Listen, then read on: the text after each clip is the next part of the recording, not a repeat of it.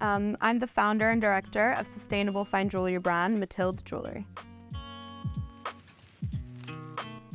A day in my life tends to differ quite a bit, but today looks like this. This is what I'm doing today. We've been shooting our International Women's Day campaign and met with some amazing and so inspirational women um, all over London and kind of finishing off the day doing this with me. So it kind of varies, but this is what it could look like. And tomorrow I'll probably be catching up on emails, so yeah. I know this is going to be the super cliche answer, but I obviously have to say my mom, who's here as well watching this. Um, but yeah, absolutely, my mom. I'm so inspired every day by everything she does, by her morals, by her values, by the way she leads her life. And yeah, definitely the most inspirational.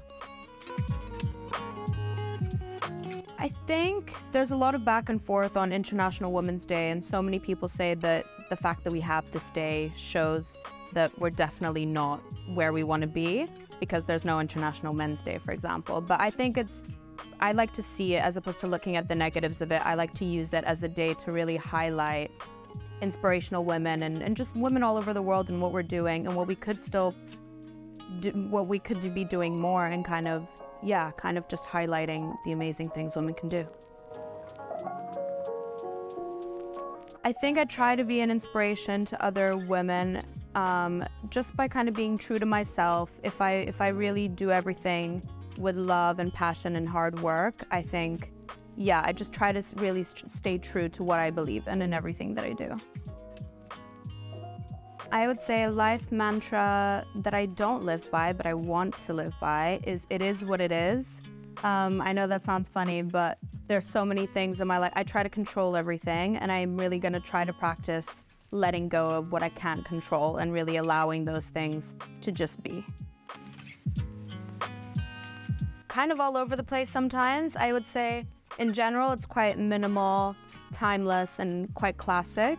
But then on other days, it's super eclectic and a mix of loads of different things. So I think it, my style is a reflection of how I feel on that day. Yeah. Um, definitely earrings and piercings. As you can see, I'm all stacked up. I don't think I have any more space to add any more. Um, so definitely I love earrings. I love to layer it up and just kind of curate what my ear looks like. I love that. Um, but I also love some good rings. So yeah, depends. Probably say those two things. Um, my own, because it just has Matilde jewelry, obviously.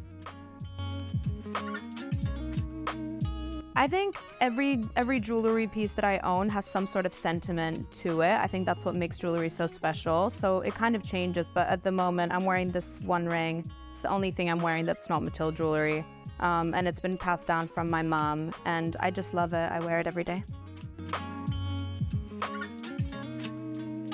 I think what makes me feel the most empowered is surrounding myself with people, not just women, but family, friends, just people in your life that are really supportive of, of what you do and kind of make you feel empowered by that. I think being surrounded by people that really support you is empowering. Um, at the moment, again, it differs. I love all of them. Obviously, I'm biased, but at the moment, I'm really liking the Galaxia ring. I'm wearing it, and I don't know. I just love it. It's so quite dainty, but quite fun and versatile as well. So that would be my favorite piece at the moment.